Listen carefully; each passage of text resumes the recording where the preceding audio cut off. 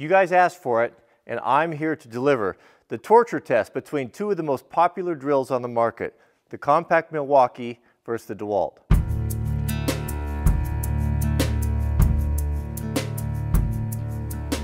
I've received hundreds of comments in the previous videos testing some of the cheaper tools on Amazon, but most of a lot of the comments that came in said, you know, we're not really interested in that. We want to see the tools that we're actually going to buy. Most people are not going to buy those low-end tool, low-end tools, and low-end tools, and I get that probably, um, I think most people are going to agree for the for the consumer, the prosumer, uh, the Milwaukee tools, the DeWalt tools, the uh, Makita tools are all they're, they're all really nice. It's really really good stuff. They have a great great track record, and these right here are probably uh, going to be two of the big contenders. Now these are going to be in the entry level of the lithium batteries. So these are considered to be compact. They're smaller drills. They are traditional brushed motors. They're not the brushless motors, but they come in at a pretty good price point that's good for most guys. And they both of them are just excellent tools. I've used them around here, just kind of playing around a bit before we did this test. Now the DeWalt is going to come in at about uh, $99 and that gives you one battery and a charger. The Milwaukee, on the other hand, is a little bit more expensive. It was, I think, an extra 46, 40, it's roughly just under $150. So my question is, is there a $150 difference between the Milwaukee and the DeWalt? So let's take a look at the features really quickly and then we'll get into the torture test and we'll find out which one smokes and possibly catches on fire first. Let's take a quick look at these in stunning 4K man, takes up a lot of hard drive space, but it looks really great.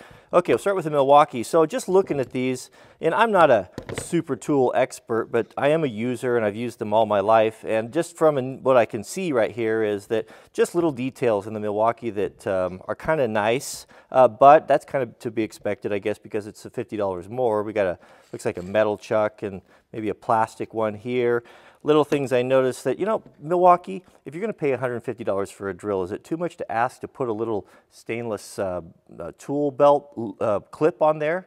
I have that on my, my Makita, and I like that because I can hang it on my belt and get to it when I'm doing stuff. But uh, there is no clip. I don't know if it didn't get included or what the deal is. It's not in the case, but uh, you can see right there where it looks like it goes, there's a nice brass insert where on the DeWalt, um, I'm assuming this is for a clip here. It looks like it's ambidextrous. It goes both sides, but no, no insert. It just screws into the plastic. Um, one thing I really like about the Milwaukee is it's uh, more compact. Look at that. It's a, it's a lot. I mean, there's must be little over an inch, an inch and a quarter maybe, shorter. That's really nice for tight confined areas. Both of them feel really good. Um, ergonomically, the, the forward reverse is easier. I don't know. I mean, that's really, we're really splitting hairs right there. They're not that bad. Both of them have uh, clutch chucks. We're going to go up to 16. Both of them go to 16. Um, low speed, high speed, a little bit shorter throw on this one. But overall, they look pretty nice. I'd have to, I guess, tip my cap uh, to the Milwaukee. It just, it feels better. Uh, it feels a little bit more solid um, I, I, like it better. Like if I just to grab them, you know, which one like gives me the warm and fuzzy.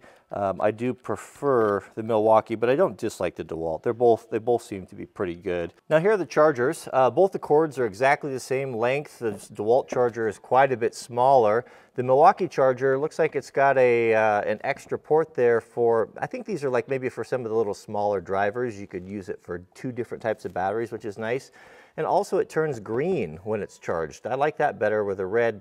The DeWalt, I think it flashes when it's charging and then it's a solid red. Not a big deal, uh, but uh, pretty standard there. Nothing uh, too exciting about that. I do like, if I can have a smaller charger, I, would certainly prefer that.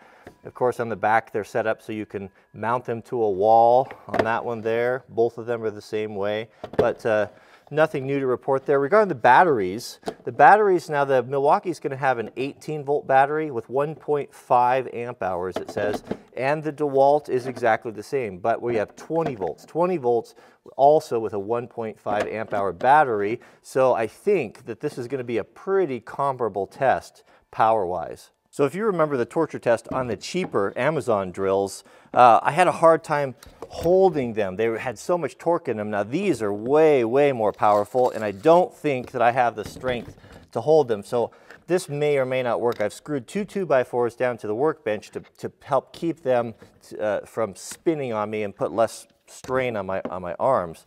So let's snap the batteries in here.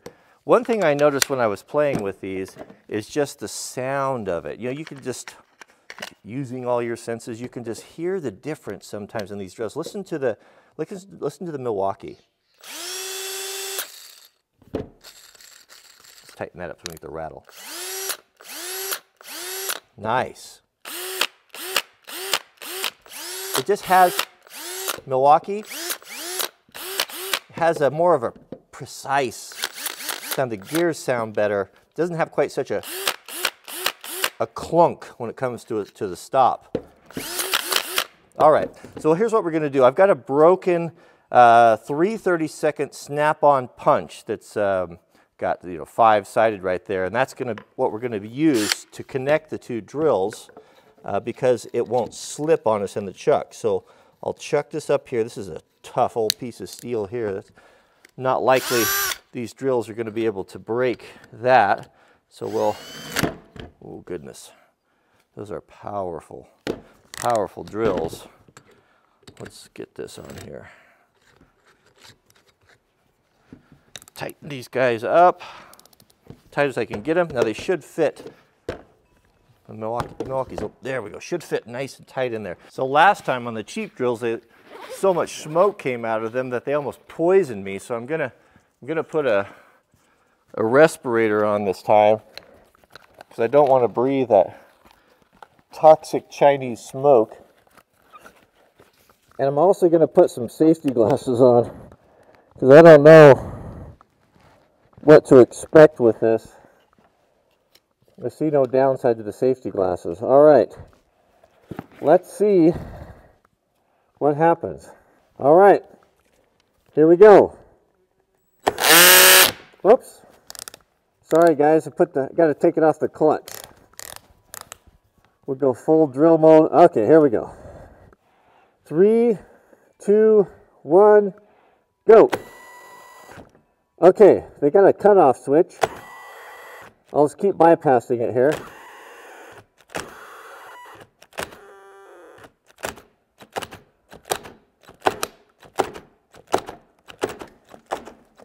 Oh, the DeWalt's starting to smoke. Starting to make a bunch of racket. It's smoking. It's making noise.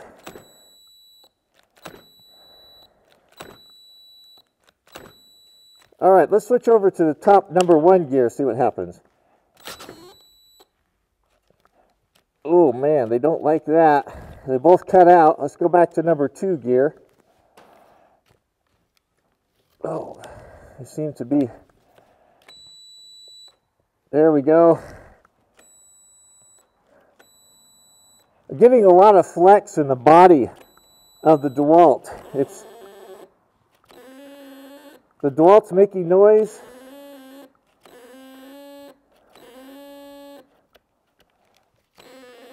The Milwaukee's just holding tough. It's just not doing anything. Okay. Now let's go the other way. Oh, oh no, something broke. So when I reversed the chucks and this, uh, I tipped this upside down, this, uh, this fell out. So the the Torx bolt that holds the chuck on when I went when I reversed direction actually sheared off and this here I can show you up close here this is the oh right there look at that look at that that broke off right there when we went, went into reverse here you can see what happened there's the bolt this is what holds the chuck on that just sheared right off of there so this doesn't end our test what it, what happened was is we can just go back, reverse the other direction, and it will uh, it will still function. But man, oh man, that's a lot of lot of torque on that. And we're back at it. Oh goodness, that's a lot of torque. Lots of flex, as I said, in the handle of that. Actually, both of them. Oh, they're just under tremendous load right now. The both switches have cut out. Neither one's working. Look at the deflections in the bodies of these things. They're just, so, they're all, this thing's just twisted to the side. Both of them twisted a lot, tremendous stress. Both the triggers are locked up. They're just locked up. So what's happening is both drills are binding up and just basically shutting down. Oh, ow, shoot, ouch, ouch, ouch. That was a terrible idea. That hurt. I fear it's over for the DeWalt. It stopped smoking. It's hot. The Milwaukee is not hot, cool as a cucumber, but it's just not, something broke inside, I think, or is failing.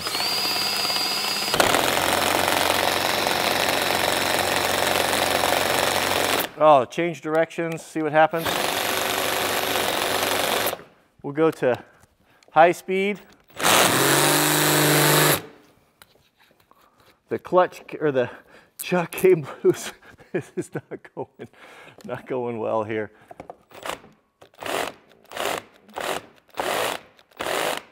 Oh, the, the Milwaukee's just crushing it. Thermal switches or something. Let's go back to low gear. What's our battery?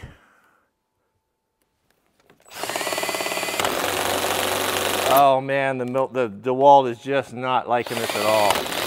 Something's something's failing. Change directions again clutch keeps coming loose. I got to keep manually putting it back on. Oh, that's that's doing damage. That's doing doing. Oh, what's going on here? What's going on? Oh, I think that's it. There's not even any smoke left coming out of it. Okay, so the batteries are both are definitely both flat. One thing that the Milwaukee has is it's got a, uh, a tester on there. It tells you the level of the battery. So, but I think it's safe to say, I'll put them back on the charger, that the, the Milwaukee just ate the DeWalt's lunch. There was just no comparison in just the amount of flex in the body. Um, it never got hot. It's still not hot. It's, it's not even warm. Um, the DeWalt is hot. Uh, made lots of noise. Let's let had a bunch of smoke coming out of it. Uh, the chuck nut broke. Uh, no, it just it just not, not not in the same league. But also, you know, don't forget, we also need to keep in mind that there's a $50 difference, and that, boy, that $50 that really comes through, doesn't it? In my experience is, I mean, when you go to the store, and we all find ourselves in that position. You got to make that decision between, do I want this one or this one? There's always a price point issue. Uh, I, is it worth the extra $50? Yeah, no question here. I mean, you can see this is one ferocious little drill that just gobbled this one up. We got grease coming out of it. It seems that the uh, something inside broke in the clutch pack. It just uh, could not handle the power and strength of the of the Milwaukee. Will it still work? That's the question. So uh, we'll, we'll check that out next time and we'll let these charge here for a few hours. Oh, that is hot, hot, hot. But I'd have to say, uh, you know, that, that $50 that you spend, you'll long forget it down the road uh, when you have a drill that, uh, that just is, uh, is just seems like it's just better in all, all regards. So good job, Milwaukee. I have, uh, have had some trouble with Milwaukee tools. I mean, they used to just be the gold standard growing up the Milwaukee, the old Sawzalls were just bulletproof. I used to go through lots of Sawzalls with my wrecking yard. We'd use them to cut up Jeeps. And I noticed that from the old ones to the newer ones, they just didn't seem to hold up as well uh, as they used to. But uh, as far as this drill goes, man, it, uh, it is tough, tough. All right. Well, thanks for watching. Uh, and we'll see you guys on the, oh, don't forget to click the thumbs up if you enjoy these torture tests and tell me in the comments what you'd like to see next. I was thinking the other day, maybe we could get two reciprocating saws. I could like, like machine some sort of a bit to go between them and put them together and run them until uh, see which one's the toughest. But uh, let me know. Let me know in the comments. So thanks for watching, and we'll see you guys on the next video.